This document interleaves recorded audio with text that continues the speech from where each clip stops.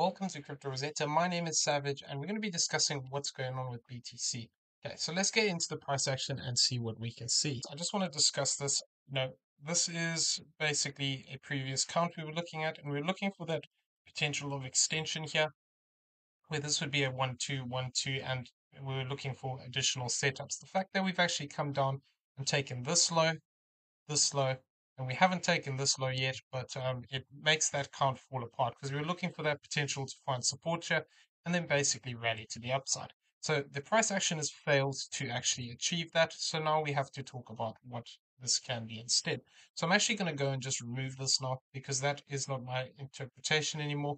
What I would be looking for here is a couple of things. So either what we can say is we could have had a five wave move completed, in which case you know, what we need to be careful of is that effectively we're looking for this as an A wave, this is a B wave, and then potentially looking for, you know, a C or wave three. We have completed a move here potentially. So if we do start to break down deeper, and we actually come down and we take this low point of this zone, this uh, 19549, potentially this could actually mean that confirm this as a bigger corrective move to the upside. The only way that we would not be able to, or that would not confirm it, is if we actually find support higher up. And I'm just going to throw the support zone on here. Um, basically, that support zone would be here between this 22,217 to this 18,430. So this would be looking at this move here in its entirety, basically as a bigger A or wave 1 and then we'd be looking for that potential to retrace down into some of these lower levels. This 0.786, which would be this 18430, we wouldn't really want to lose that because, you know, once we start to hit, break down below this zone, it becomes more likely we are going to see continuation to the downside, and we could actually see a deeper move down towards this uh, 13397 to this 10,604 area. So this is what we need to just keep in mind as we are looking at the charts here you know, if we do start to break down in a more impulsive way, this could be potentially what is playing out. The alternative to this would be that we are looking at this either as a completed move, like I said, but this is not going to lose this low. As long as we don't lose this low, we do have potential to actually rally one more time. So we can either potentially count this one, two, and then look for a third or ABC to the upside. It wouldn't really make sense as a as a three wave move. So if we do find support, what I would be looking for is confirmation of a bigger move to the upside. And what we'd want to see is basically a move up here past this zone. I'm going to just go into the 0.618 um, because that's quite an interesting little level there. We'd be looking for a move up past this 48, 48,887 for confirmation of a third wave. So that would be off that 0.618 down here. If we didn't come down as low as that and potentially only came down towards this 24,631 area, that would be higher up towards this 50k mark. So that's that's what we're looking for in the bullish sense here. If we're looking for continuation to the upside, but we need to be careful. Um, the alternative way we can also count this, which is looking at this move is actually completing over here, where this becomes a one and we're looking for two. And this is just a bigger corrective flat um, at the top end of this move, and it's not actually uh, you know, a five wave move completed into here. So this is still a valid interpretation. And if we do get a move down here in a five wave sequence, so what we'd want to see is basically a move where this is one, two, three, four, and five, coming down into some of these lower areas, finding support, and then a move that actually takes us up again past this high that would be the first indication that we could potentially be looking for, you know, a bigger five wave structure here. Though once again, we would have to move up quite substantially, and that would be looking actually to take us up towards this zone of this 47k for confirmation of a bigger third wave. So there is a lot that needs to happen for us to get there. So we're going to be monitoring this, but basically within this structure, we're still looking for those same potentials here you know, I talked about this 2.618 on here, this 25747. This is still a viable option. Um, you know, we've come through this higher range here, this 28381 to this 27627. So we've actually broken through this range already. Another zone of interest is over here, this 26,061 to this 25,355 area. So this is another zone we could look to potentially find support if this is a flat. We'll go over the internals of this in a second, but I do think that we are, are going to see some continuation down. The, the question is whether this is an ending wave here. So if this is A, B, C, this would be an ending wave, or whether this move to the downside becomes the beginning of the correction. So we're going to have to watch that retracement. If we only get corrective waves to the upside, we could actually look to continue down in some kind of structure like this, potentially as a zigzag at this point. We'd obviously have to be careful that if we do have five wave structure down, we need to monitor that next move to the downside and make sure it doesn't go past that uh, 1.618.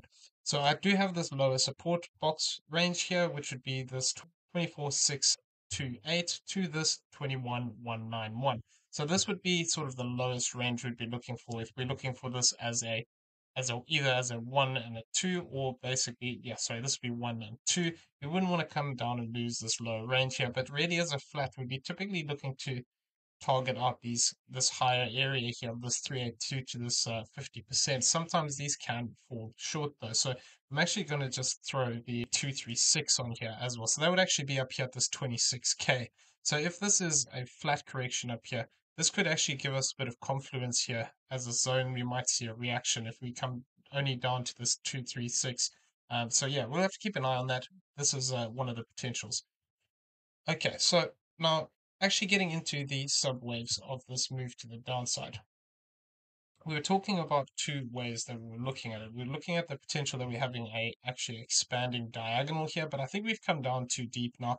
Um, I was looking for that potential of having a reversal here to the upside for wave two. Technically speaking, it is still possible because it could, with this move is just potentially extending out here. Um, so it is still possible we could see something like this, but the proportions are getting quite big now, and it's sort of lost that structure or lost that shape that I was hoping to keep if it was going to be this. this. These are also, you know, quite rare, so we need to just bear that in mind. It is possible, but we'll have to just see how the waves actually progress. What this would mean, though, is basically we have a bigger structure here. We'd have a three wave move back to the upside, another five wave move down, three wave move up, and another five wave move down. This would actually potentially look to take us down towards this lower range here, you know, of this um, channel line again. So this would uh, this would be a bigger sort of move to the downside.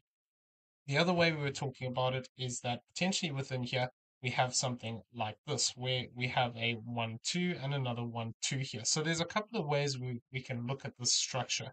So I was initially looking at it at the fact that I'm going to come here into the one hour I was looking at this initially in the sense that, you know, potentially we were looking to complete our fifth wave here, our fourth wave here, and then looking for that fifth wave to the downside. So let me turn those internals on that we were talking about. So we were looking at something like this, where we were looking for basically a fourth and a fifth. So we've come down into that zone technically.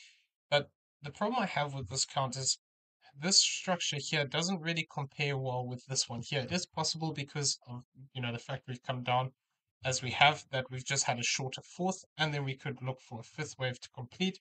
In which case, you know, we, we're pretty much in the zone there. There is still potential to come down one more time here, where this would actually then become one, two, three here, forming a fourth wave, and then we look to break to the downside.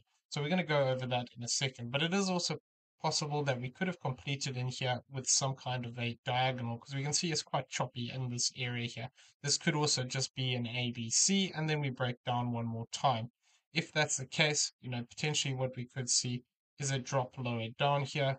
And I'm just going to go with this high because that is towards this 27,062 to this 26,955. So this could be a viable option where we actually are looking for this blue wave count to complete in which case we'd still be looking for that potential of this uh, this bigger yellow wave count. The thing is though, with the fact that we've come down so deep, it wouldn't make sense to me to actually for this move to actually come back up towards some of these higher ranges here. I actually need to adjust this slightly. The um the 382 would be sort of viable because this would actually come back into this previous fourth wave. So if we see something like this as a as a zigzag, potentially we could actually look for a retest of this zone of this 28,370 and then look for, you know, continuation to the downside. If we do get that move and we are completed here, I'm just going to go over this. Basically, we could see you know, a move that looks to end around this 26,869 to this 26,416. So some interesting things about this is if we do push down to this area, this could then make this a 4.618 of this as a wave 1 and a 2 at the top end here. Or alternatively, if we want to look here, we also have this 3.618 here, this 26,143 which was which would also be an area I'm just keeping an eye on if we do look to break down here. So these are off of these two different respective waves. I suppose I can change this color to make it a bit clearer. So this would be the yellow one and this would be the blue one. So I'm just keeping an eye out. We've actually come down to this 2.618. So that's why I'm looking for the evidence that we could actually have completed here. And we're looking to form a fourth wave for this um, for this yellow sequence that we have over here. What we have to be careful of is if we have further extension here to the downside, this could mean that we're actually still within the blue wave count. So that would look something like this. And we're going to just actually turn on, turn off this. What this could mean is that we actually not completed this blue third wave here. And this could then mean that we have, you know, a little bit more downside here to come before we actually complete this third wave, which potentially could bring us towards that zone that we talked about 20,000, 27,000 to this 26,954. So if we do actually have this playing out rather, potentially what this means is that we still have a fourth and a fifth, and then another fourth and a fifth. What we'd be looking for is a three wave move to the upside that faces rejection off of this zone of this 27,889 to this 28,766. If this is the case, so like I said, you know, potentially we do still have one more drop here where we could look to push down.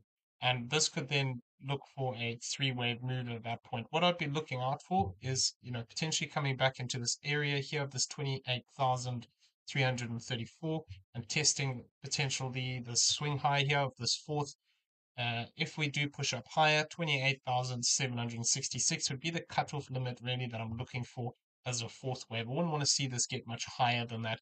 If we do, then it becomes more likely that, you know, within this move it has completed. At the moment, we only have a three wave structure. Even though we've come down quite strong, all we have is, you know, three waves. We don't have anything that really matches up with the internals of this as a five wave sequence. We want to see something more like this playing out. So this is basically saying that, you know, we've got a little bit more for this third wave. We're going to see a push up for a fourth, and then we're going to see a continuation down for this fifth, and then we're going to get another fourth and a fifth.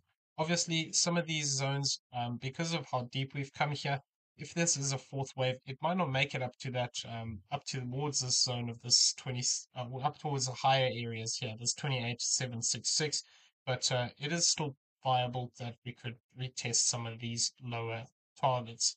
If this is the case, this could mean that we look to actually complete towards this uh, 26,360 to this 25,907. The problem we have when we have moves down like this, we need to be careful that we don't have even further extension. So this could be, this is something I'm also just keeping an eye out on, is if we do continue to break down, it's possible that this third wave is still extending even deeper and this would then potentially mean that within this structure, we've had a one, two, and actually we're still within the third wave. So this is the danger that we have here. You know, we want to see some of these key levels getting taken out.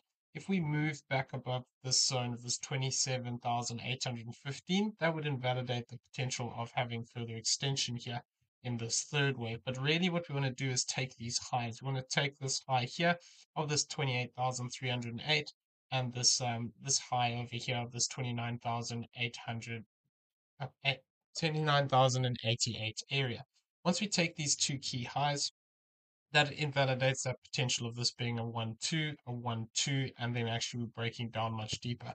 So the difference with this is this would actually mean that we're going to see potentially a bigger move to the downside here towards this 25,455 to this 25,859 and that would all be within this third wave where this becomes one, two. This would all become three, four, and five. And then we'd still have additional structure here that we'd have to account for. So this would actually look to actually break down past this 25,200 um, level, which would be these previous, these previous highs here that we discussed um, a few times when we're talking about this flat correction. So if we do get a bigger move down like this, this could actually mean that we break down much deeper. So we'd have to just be a little bit cautious of that fact and that we don't see um, something like this happening. What I would be looking for for confirmation that we are extending here would actually be moving down past 26,500. So if we have a direct sell-off here where we actually move straight down towards this 26.5, what I'd then be looking for is potentially having a fourth wave back up towards this 2717, 179, and then having an additional leg down. If we do move down towards this 26,111 area, this would imply that we have, you know, extension further here as well, where this has become one, two. This would all be three, four, five. We'd get another fourth and a fifth.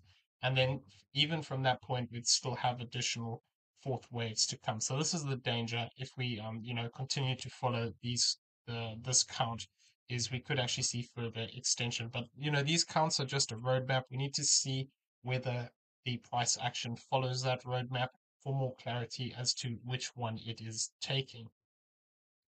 Okay, so I'm going to leave the video there. I hope you found it useful. If you did, please smash the like button, hit that subscribe button if you haven't already, turn on those bell notifications so you never miss a video, and leave us some feedback down below. Also in the description, you will find a link to the Discord.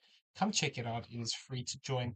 As well as that, you will find affiliate links for both PrimeXBT and Bybit down there. Both great exchanges we use on a regular basis. If you don't have an account, using the affiliate link does help support the channel, and we do appreciate it. Everyone have a great day. We'll see you in the next one. Take care.